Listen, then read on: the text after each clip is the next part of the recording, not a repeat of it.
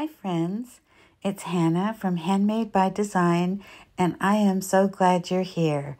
Today, we're going to be making a no sew denim gift bag that's perfect for this time of year. With graduations and Mother's Day coming up, it's perfect for a bottle of wine, infused oil, tall bottles of lotions, and it makes a wonderful hostess gift as well. This gift bag is made without sewing a stitch, but if you do know how to sew and have a sewing machine, you can make it in half the time. I purchased a pair of denim jeans from the thrift store for $4.49, plus I had a 20% discount coupon.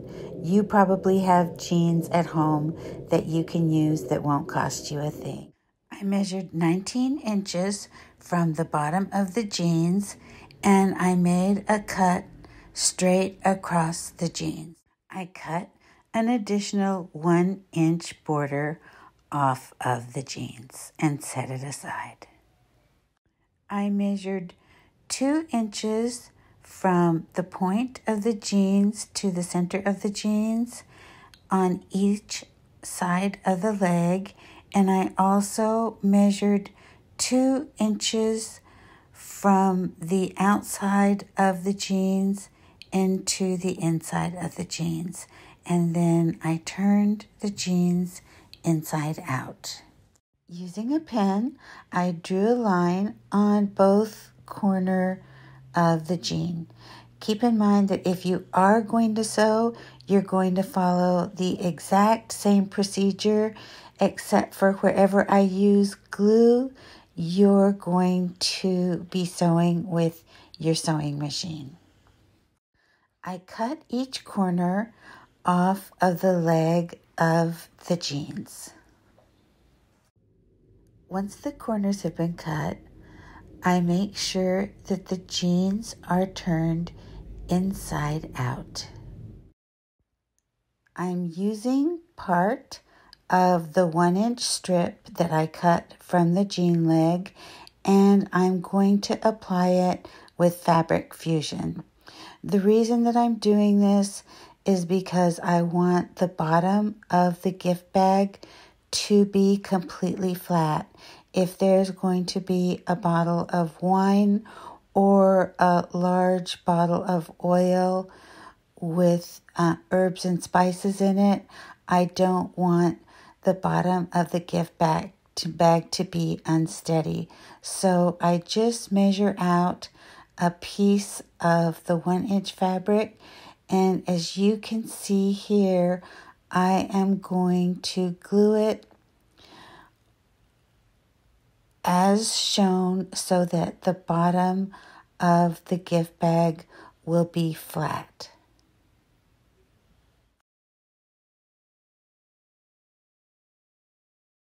I apply part of the piece to one side and then I apply the other side. I give it some space and I apply it to the inside piece of the other side. And I hope that you can understand what I'm saying.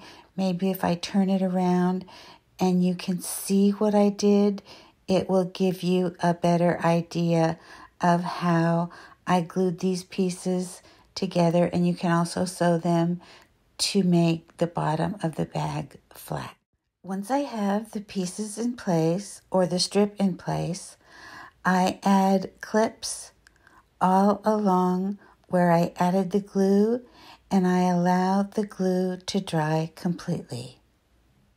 Once the glue has dried completely, I remove the clips and I cut the extra fabric off so that it is flush with the one inch piece that I have added on to the fabric. And now we're going to work on the corners. Add fabric fusion inside of the fabric to glue it together and also under the seam and fold the fabric over towards the outside seam of the pant leg and clip it together until the fabric is completely fused and the glue is dry.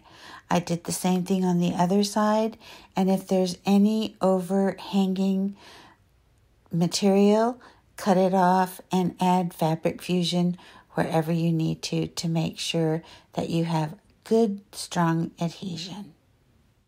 We are doing all of this on the inside of the jeans. So we're doing it on the wrong side, not the pretty side of the jeans. Allow all of the fabric glue to dry completely. And once it has, remove all of the clips. And then you can see how nice and pretty and flat the bottom of the bag is. And this is perfect. We're not going to have any bottles falling over because the bottom of this gift bag is flat. It even stands up all by itself. Turn the gift bag right side out and now we're going to apply transfers. I love these rub-on transfers from the Dollar Tree. They are so easy to apply. They have several different selections on every page and I'm going to be using a selection of florals and bees for the gift bag and the way that the transfers from the Dollar Tree work is that you just lay the transfer, the pretty side, face down on the front of where you want it to show.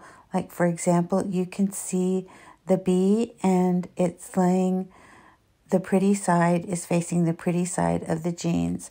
And I'm just using a hard plastic squeegee that I purchased from the Dollar Tree and I'm just rubbing the transfer on until I can no longer see it on the back of the paper. And that lets me know that it has transferred onto the fabric of the denim.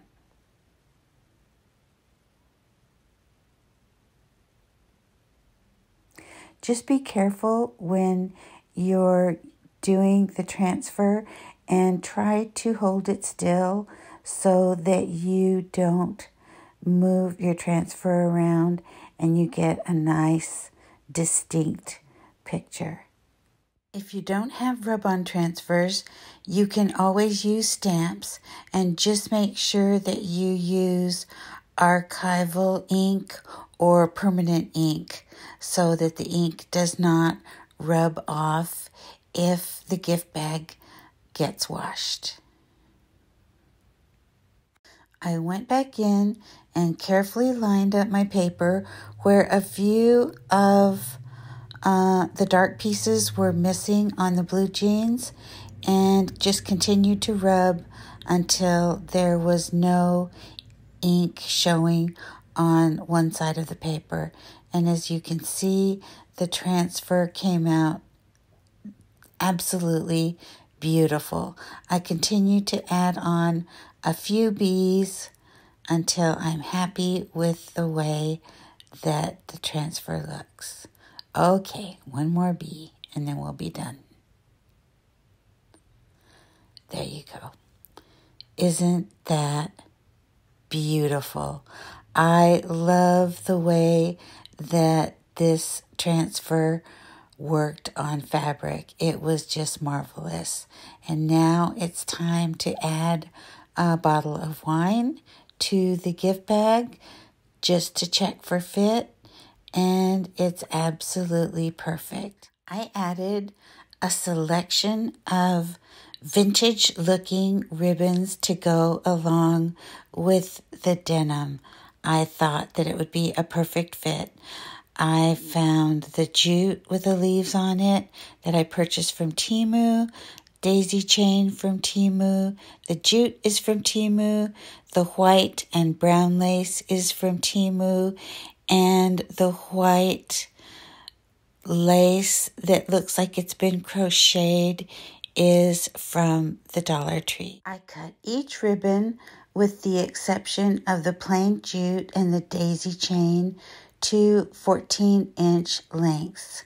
Then I took some jute and I tied off the all of the ribbons at the 7 inch mark and I left enough jute to go around a bottle of wine, lotion, or whatever gift is going to be placed inside of the gift bag. Then I hot glued a burlap ribbon that came from Temu directly onto the ribbon and a burlap flower onto the ribbon, and that also came from Temu. Then I cut off two small of two small daisies, one in the light jute and one in the dark jute. I have these small cards that I purchased from Temu and I love to use them as gift cards. I simply folded the card in half and I used a hole punch on the side, on the top corner of the side where the card is bent and I added some jute into the hole and I tied the jute off in a knot and hot glued one of each of the daisies onto the front of the card. I also left enough jute so that it's long enough to go around whatever is going to be inside of the gift card. I have my bottle of wine inside of the package and I'm going to tie on the ribbon with the jute. Let me just find the jute. There we go. And I'm going to tie that on. And I'm just going to do a fingertip bow on the back of this ribbon so that it will be easy for the recipient to remove and also that so that they will have a pretty ribbon that they can reuse. And this project is complete. I so enjoyed making this project for you, and I hope that it inspires you to make something beautiful. If you enjoyed the content of the video, please like, subscribe, and hit the notification button, and you'll be notified the next time that I post a video. Thank you again so much for watching, and I will see you next time.